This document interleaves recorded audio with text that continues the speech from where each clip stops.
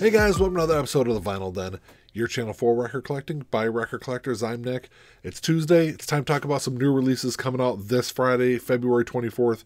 There's about uh, just shy of 600 albums coming out. I got 12 on the list for today, though. There's a bunch of links down below. Make sure you go check them out. There's links for the Vinyl Den Facebook group, for the merch page, for the Spotify and Apple Music weekly playlist that we put together, and also the Patreon page. Make sure you go check all that out. Of course, if you enjoy the episode, make sure you give the old thumbs up. Hit that subscribe button down below. Make sure you hit that notification bell so notified every time I release new episodes.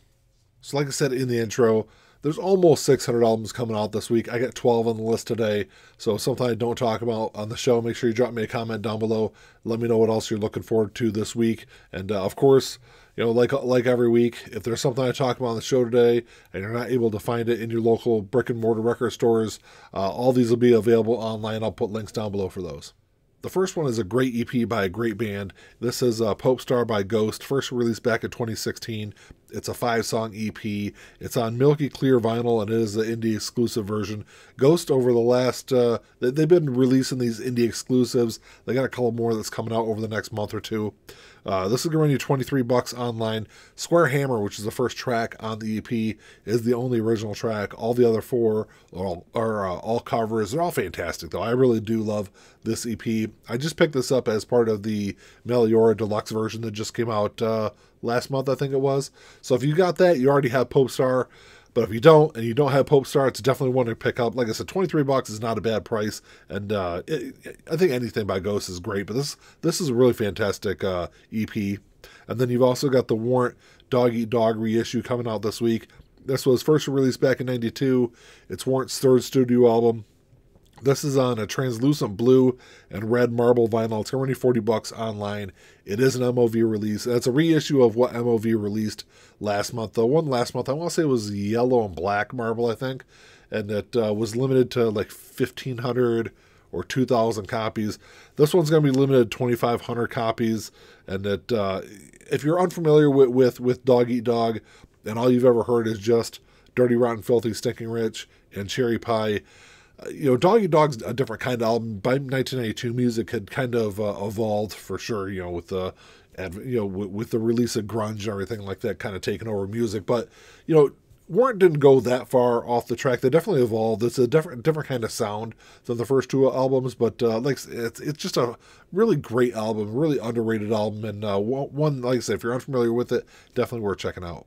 Another really underrated 90s album is getting reissued this week. This is Naughty by Nature, 1993. First released back in 1993. It's uh, their second studio album. It's their, of course, their 30th anniversary. It's a double LP. It's on orange vinyl. It's going to rate about 30 bucks online. They, uh, of course, OPP, which is on their first album, was their hu- first like huge hit. Really kind of broke them out into the the mainstream. But I think uh, 1993, like overall, is a much better album than their debut. Uh, Hip Hop Hooray was the track that really kind of anchored this album. And uh, like I said, for 30 bucks, I don't think it's a bad one to to pick up if you see it in your local stores. And then you've also got uh, Effects double album being released this week. Uh, this was first released back in December of last year. It's NOFX's 15th studio album, follow up to a single album that's, that came out back in uh, 2021. Uh, and this was the first time it's been available on vinyl since it was released. And when it, when it came out last December, it was only digital and CD. You know, I'm a big NOFX fan. I have been for a long time. I really did not like single album. And uh, I, I know double album's been out for a while, and I've had it pre-ordered since it first came out. So I'm gonna wait and kind of, I, I, guess, kind of hold my judgment until I, I listen to to double album. But uh, you know, right now I don't think my expectations are all that high. But for 18 bucks, I think this is a really, you know, if you are a NOFX fan, um, you know, it, it's one definitely worth checking out. I actually pre-ordered the deluxe version of, of double album off of uh, NOFX's website. Actually, it's off of Fat Wreck Chords. The packaging goes with single album, and then there's also another album that, they're getting ready to release later this year that kind of fits in all that packaging that uh, comes with that deluxe version. So I don't know. We'll we'll see that what that looks like when it comes out. Maybe I'll do uh, a video or talk about it in one of the videos because I think it could be some kind of interesting packaging that uh, NOFX is doing. So I don't remember if it was last week or the week before that uh, a divine symmetry, an alternate journey through hunky dory. I had to read the title because I've never going to remember that off the top of my head. There was a, a four CD and a Blu-ray box set that came out uh, within the last couple of weeks. Well, this week you're getting the vinyl companion piece for that uh, that box set. This can run you 24 bucks online, and this has 12 early demos, alternate mixes that are all included in that uh, that bigger box set.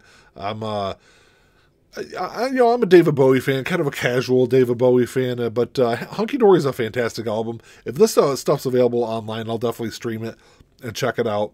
And then you've also got the the new album from Gorillaz coming out this week. This is Cracker Island. It's their eighth studio album. It's gonna run you 24 bucks online, so I don't think uh not a bad price at all for uh, for a new release. There's collaborations from Stevie Nicks, Thundercat, Tame Impala, Bad Bunny, Beck, and there's a bunch of other ones on there too. So you know, another album that uh, I'll you know I'll stream it and check it out. I think there's also I think there's an Amazon exclusive that I think is Blue, and uh, I think there might be also a uh, indie exclusive on that release also. So Five Seconds of Summer released five SOS five last summer, and then the vinyl version of it. Well, I want to say it came out last fall, maybe later part of last year when the the vinyl version came out. And then there was also a deluxe version that came out with some extra tracks. The deluxe version is being reissued this week. Uh, 5 SOS 5 is uh, 5 Seconds of Summer's fifth studio album. It's a double LP. It's on white vinyl. Like I said, it is the deluxe version. Comes with a die cut uh, cover. Looks kind of cool if you're a 5 Seconds of Summer fan. Um, you know, it's definitely definitely one to check out. It's be 40 bucks online, which I think is a, a little pricey, but uh, I guess that's kind of where vinyl records are at these days. You also got a-ha Hunting High and Low, the big 6 LP box set coming out this Friday. This includes the 2015 remastered version of the album. Uh, LPs 2 and 3 are demos from 82 to 84.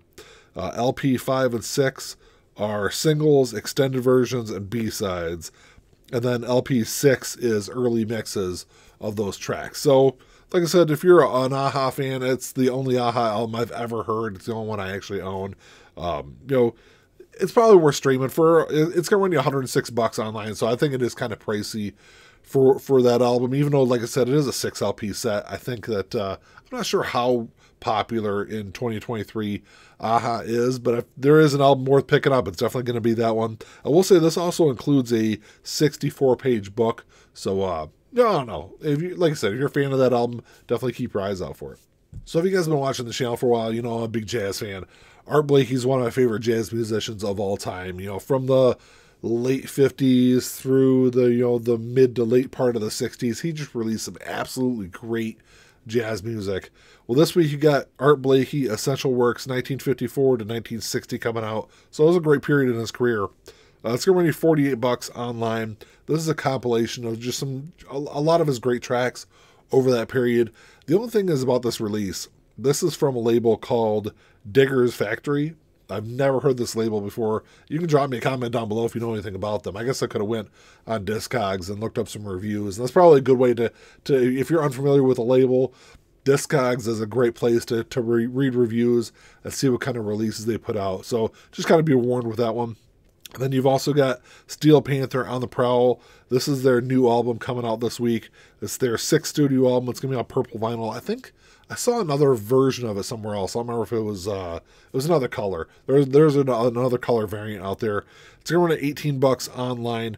If you're unfamiliar with, with who Steel Panther is, it's they're one of those. It's a glam metal band, you know, very reminiscent of a lot of the hair metal stuff you see, you know, or, or you or you saw or listened to back in the uh, in the '80s.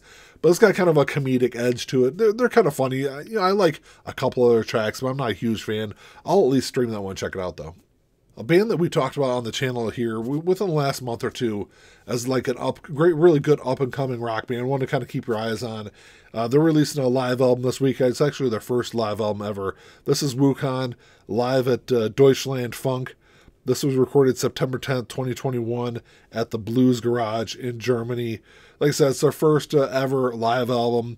It's uh, 13 tracks on two LPs. It's going to be 33 bucks online. Like I said, if you're unfamiliar with who, who uh, Wucan is, definitely uh, check them out online. I do like a lot of their stuff. And then you've also got the last one I got on the list is Lucero's new album. Should have learned by now. It's their 12th studio album. I'm to be completely honest, I'm not a huge huge fan of Lucero. I'll uh, I definitely need to kind of go back and check out a lot of their stuff. Let's get running 23 bucks online. Um, you know, I know a couple people that are huge fans of their music, but uh, for one reason or another, I think I've only heard maybe two or three tracks from the band. So you know, I'll add, definitely add that to the list to check out this week. Well, that's all I got for you today, guys. Thanks for checking the show out. Like I said, there's uh, almost 600 titles coming out this week. I only talked about 12 on the show today, so make sure you drop me a comment down below. Let me know what else you're looking forward to. Of course, if you enjoyed the episode, make sure you give me the old thumbs up. Hit that subscribe button down below. And that's all I got. Until next time, keep on spinning. Peace.